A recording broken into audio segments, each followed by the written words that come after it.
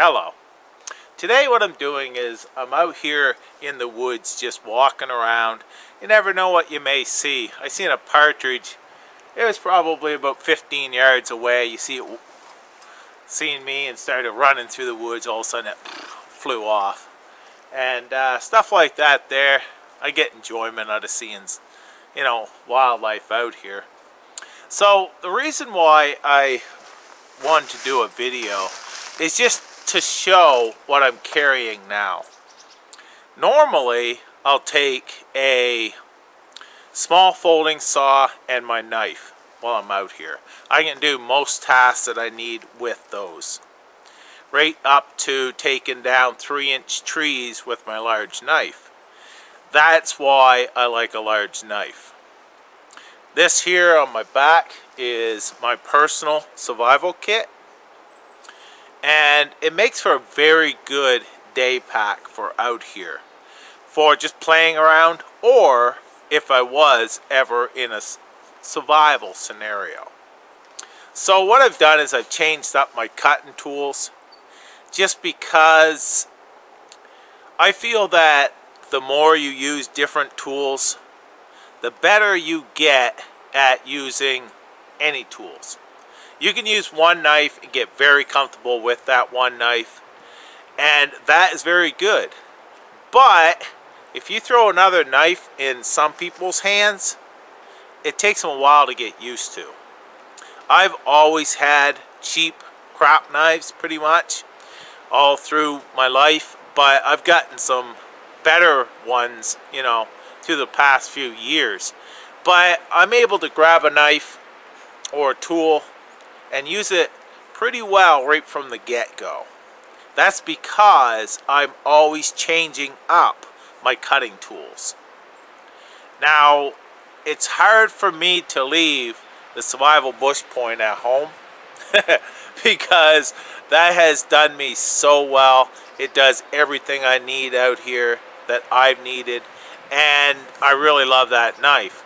But just to be different, I changed up my gear and I want to share that with you.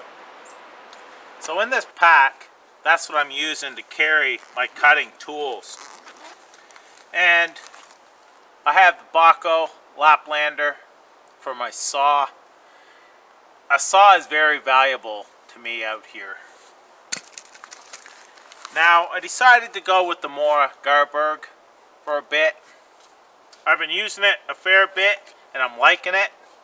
So I figured for my carving and fine tasks, up to medium tasks, I can use this. And then the addition is my hatchet hawk that I have forged. I just put a video out on this.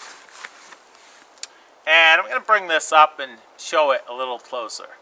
So I got rather lucky that this sheath fits the Hatchet Hawk. Not perfect, but it works. This one here was from the Resourceful Redneck Hatchet. The sheath. And that is the hawk there. The Hatchet Hawk. Now like I mentioned before in my video, this was Dad's hatchet head he used the hatchet. It was in his toolbox. He's cut everything with this. And I decided to make it more useful for me to take it to the forge, spread the eye. So now I can make a handle quickly from a branch out here if I break this handle. Because if you ever had to take the wood out of a head that has a broken handle, it can be a pain. So this way here, I could just knock it out, put another one in rather quickly. So it makes it more useful. And this here has been cutting really well. So having a axe like this I'm going to be able to do the larger tasks, take down larger trees and such. And it's just something different because I've used hatchets for many years, but I've been using a large knife more than I have a hatchet. So this here gets a hatchet back in my hand and it's just something different and I wanted to share it with you. Now throughout the ages, many people have carried a set of tools like this, an axe, hatchet, uh, knife, and then a saw. Now, it's been a great combo for many folks. Myself, like I said, I've always just carried, mostly for the past few years, just a large knife and a saw. Sometimes I'll take my buck saw as well, and then the folding saw. But the folding saw, I've done a lot with that, and a large knife. This here is something different for me, but I'm looking forward to it because whenever I use this, I think of my dad as well. So, looking forward to it. Thanks for watching. Take care. All the best.